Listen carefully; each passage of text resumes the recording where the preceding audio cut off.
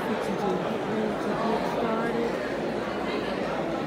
with the uh, banquet. But like I said, I am very honored to be, have been a part of Coach Campbell's reign. He has, uh, my son is a junior at Peach County High School, but he's already helped him tremendously.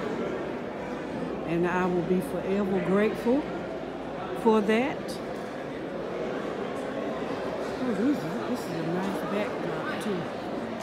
They got some backdrops, which is nice. And, um,